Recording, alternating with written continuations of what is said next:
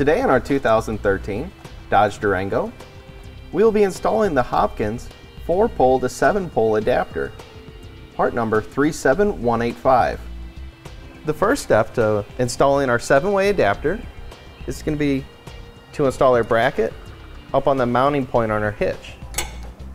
We will take the included hardware, which are the lock nuts and these two Phillips machine screws. We'll line up the holes on our mounting plate and the bracket on the hitch.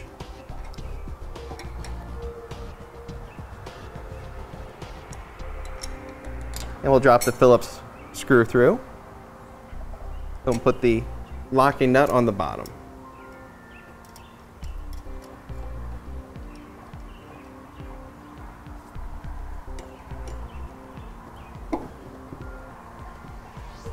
Since the screwdriver is a little tough to get in this position, we'll put a socket on the bottom and tighten it that way.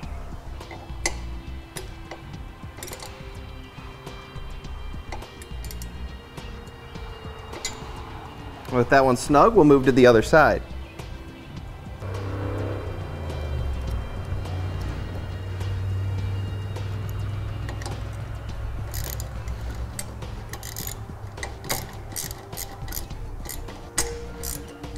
Now with the bracket in place, we can mount our seven-way connector. Now we'll take our seven-way connector, we'll line up the mounting points with the mounting points on our bracket. Slide the wire through the opening at the bottom, and once it's in place, we just line up those holes.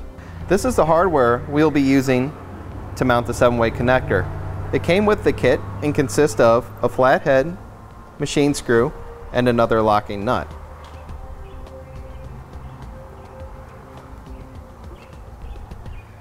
Feed the screw through the mounting location. We'll take the locking nut and place it on the rear side. With that in place, we can tighten it down.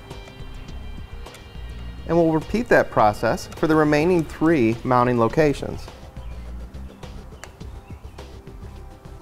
We'll take our four pole connector, we'll pull it back up behind the hitch. We'll take the wire off our new seven pole connector and plug it into the four pole. Now we locate our, our white wire, which is our ground wire. We're going to run that up to a previous ground we had and tie into that. To do so, let's bring it up behind the hitch, and over the rear bumper structure here to keep it up and safe.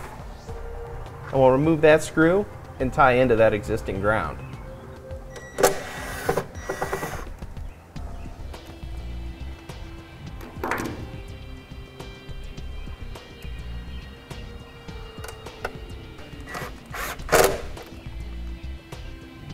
These wires we have here are normally used for a brake controller and accessory uh, 12 volt power source. But since the customer opted not to install a brake controller at this time, we'll neatly wrap the wires up, tape them and secure them, and we'll get them up and out of the way so they're there for later use. I removed the old zip tie from our four-way harness that we were plugging into, and I'll zip tie that with the blue, purple, and black wire that we are not using with our seven-way.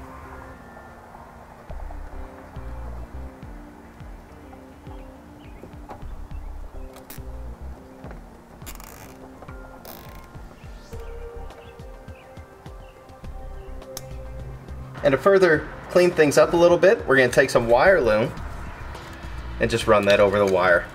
This will also help protect it. And this wire loom is also available on our website, part number 459075-1.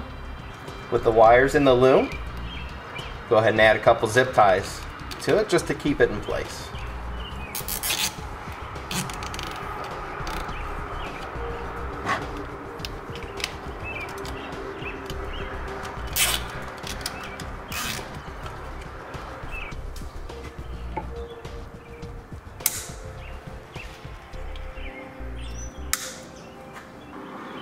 We'll take our tester, or this could even be a trailer. Make sure it's plugged into our seven-way connector.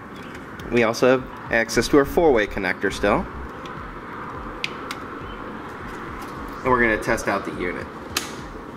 We'll hit the brakes. The left blinker, the right blinker, and our running lights. And that will conclude today's installation of the Hopkins 4-pole to 7 and 4-pole adapter, part number 37185, on our 2013 Dodge Durango.